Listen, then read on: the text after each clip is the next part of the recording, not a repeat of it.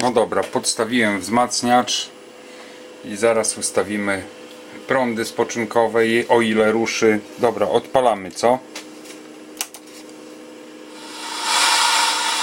Jeden kanał gra. Znaczy zaszumiał. Drugi kanał zaraz zobaczymy. To jest mój niezawodny głośnik do testów. Ile on już przeszedł? Drugi też chodzi. Czyli będzie wszystko ok. I teraz tak. E, w milivoltomierz, nie amperomierz. Dobre, to było dobre. E, Zróbmy tak. Na wolty przełączmy sobie wyjścia i sprawdźmy czy jest 27 mA na rezystorach emiterowych. Myślę, że jest, bo akurat prądów to chyba nikt nie ruszał, bo są zalane farbą. Czekajcie, czekajcie, muszę się tutaj wpiąć. Moment. Udajmy, że się udało postawić kamerkę. Ok. Teraz tutaj się wpinamy pod dwa rezystory emiterowe, bo tutaj akurat jest prost, prosta konstrukcja, tak jak mówiłem, konstrukcja CEPA. Eee, wyciszmy i włączmy. I się nie wpiąłem. Coś nie łączy tutaj pewnie.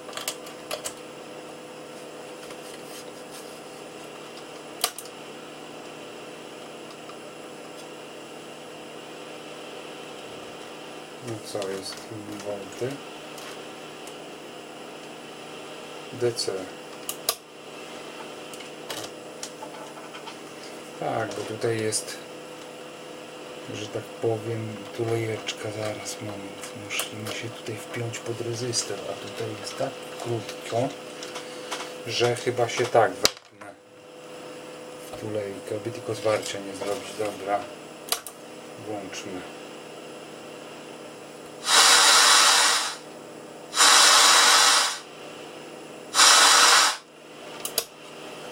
Przełączmy obciążenie, bo musi być obciążenie podpięty pod kanał. Nie tak jak tutaj co niektórzy pisali, że się prąd ustawia bez obciążenia w komentarzach. Ok, co mamy? Mamy 13-14 mV spadku. Ma być 21. Zaraz jeszcze raz, żebym Otw otworzę schemat i sprawdzę dokładnie. 9100 schemat końcówki mocy.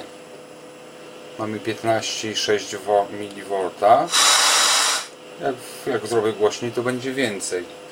Czyli bez sygnału 26 mV ma być spadku. Bez sygnału i z obciążeniem. 26 mV gdzie jest mój ten mały śrubokręcik? Tutaj jest jakiś jeden. Ustawmy sobie prąd lewego kanału.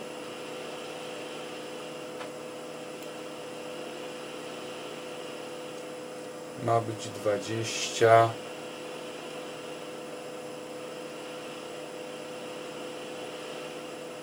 6, tak? Całkowicie ktoś go pokręcił mamy 20 3 28 23 i 4 trochę podgrzejmy. Tak był kręcony. Tutaj akurat lewy był kręcony bo nie był, bo farby nie ma. 25 i pewnie tak zostanie, bo tutaj dalej ten potencjometr z tego co widzę jakiś luz ma dziwny, może będzie do wymiany potencjometr jeszcze. 25 i 5 i 6 a ma być 26 mV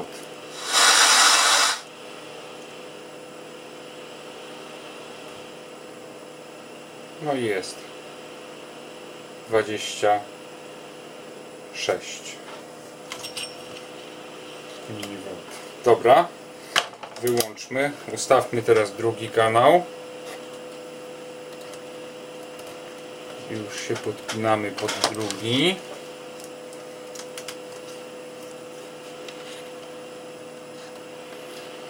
Ok. Przełączmy obciążenie. Ok, włączmy drugi kanał.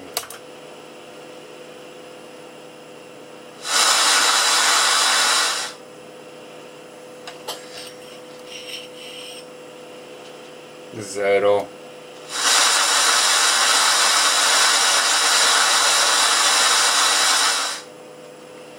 Też tak samo jest przekręcony do końca prąd. Czyli jedziemy 20.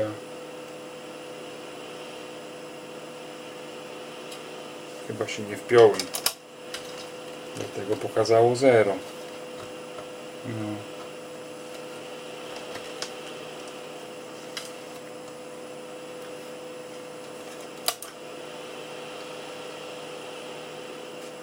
Trzy.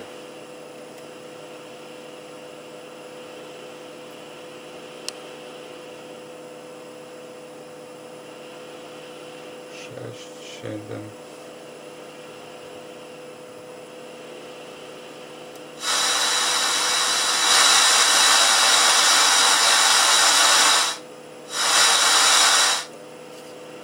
Musimy go troszeczkę podgrzać.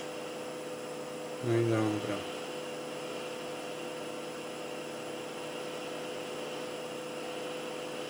Dziwnie się zachowuje.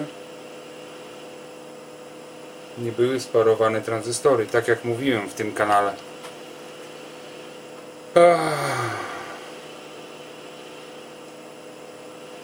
Dobra, jeszcze raz. Może wyjść tak, że prawego nie będzie można ustawić, ale to trzeba będzie rezystorami pewnie dojechać emiterowymi, albo one po prostu zostały uwalone przy tym zwarciu.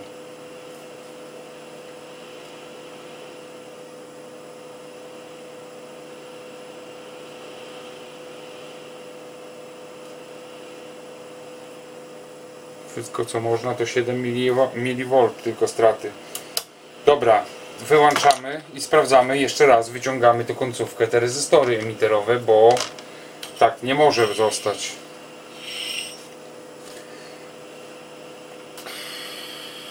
Czy dam z tej strony radę wymienić te, te rezystory?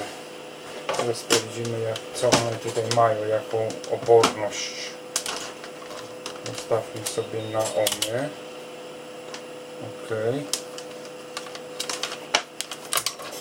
Sprawdźmy mniej więcej na razie z nawlutowaniem, co my tu mamy.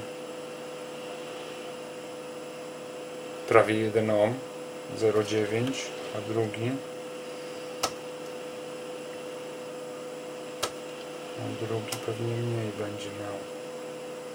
A drugi ma 0, 0,4. Czyli jednym słowem jeden rezystor ugotowało. Prawie ma 1 ohm, dlatego nie mogę prądu ustawić. Także no, sorry, ale wymia wymianka dwóch sparowanych. Czekajcie, czy to się nagrało, czy się nie nagrało? Chyba się nagrało. I tak jak mówiłem, wymieniłem rezystorki i prąd ustawiłem. Wszystko już ze wzmacniaczem jest ok. Wszystko gra i burczy, ale ktoś tu grzebał się po prostu. Słuchajcie, już nie ma tych kondensatorków, które trzeba było nie usuwać. Są usunięte te, których nie trzeba było usuwać. Na przykład ten jest ok usunięty, ten już nie jest ok usunięty.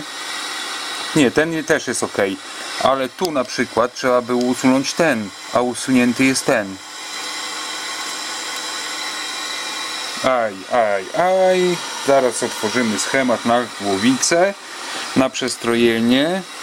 Tu oczywiście, zobaczcie,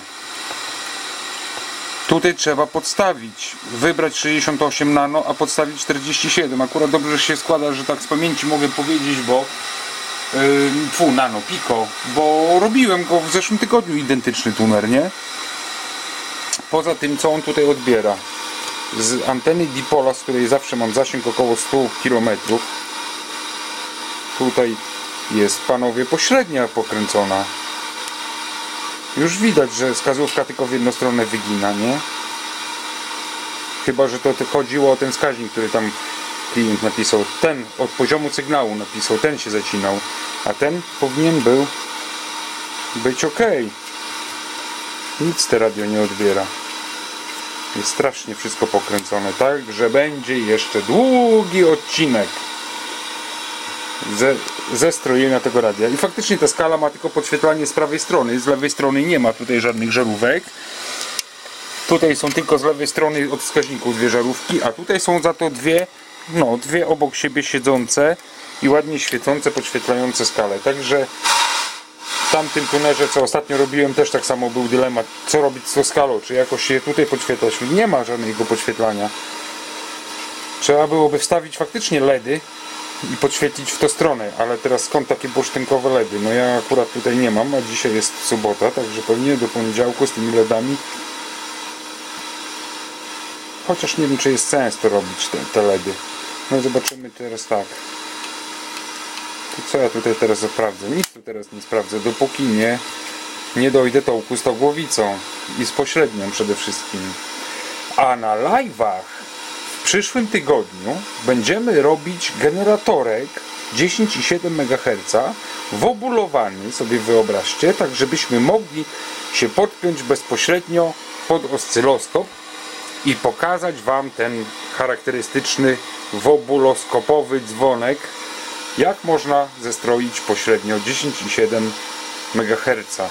Ja w tej chwili troszeczkę inaczej to robię, bo podłączam sobie SDR-a, Yy, podłączam sobie yy, ten analizatorek z SDR, ustawiam sobie stację 10, i si- yy, znaczy ustawiam sobie stację, na której wiem jaka ma być częstotliwość. I odstrojenie koryguję na y, pośredniej częstotliwości. Czyli po prostu dostrajam się na maks sygnału, podpinam sobie pod wyjście demodulatora FM y, pod S-metra y, woltomierz i dostrajam sobie pośrednio na, na maksymalną częstotliwość pokazuje mi wtedy SDR, że stoi mi heterodyna na tej częstotliwości, na której ma być, ma stać, a radio dalej szumi wtedy sobie dostrajam pośrednio, tak żeby był maksymalny wskazania S-metra i wtedy wiem, że 10,7 jest ta pośrednia zestrojona do fali, które, na której jest akurat nadawany sygnał z generatora, y, czyli z nadajnika z heterodyny, czyli heterodynę minus 10,7 tylko że to trzeba trochę przeliczyć ale idzie tym ustawić i bardzo fajnie chodzi SDR-ek i wtedy ja wi widzę, słyszę i no i co poza tym no. Nie powiem, że czuję, bo tego nie można poczuć ale widać i słychać, że 10,7 i napięcie. Na woltomierzu. Wtedy jest maksymalne, nie? Tylko, że nie tym woltomierzem. Te multimetry się nie nadają. O tamten żółty dobrze pokazuje. Po prostu mają za mało rezystancję wewnętrzną i wycina w pień sygnał z S-metra, z demodulatora. A tamten ma bardzo dużo rezystancję wewnętrzną i pokazuje pomiar idealnie nawet do 5 V. Można wy, wydusić z, ze standardowej głowicy, nie? Dobra, nie będę marudził, nie będę przedłużał.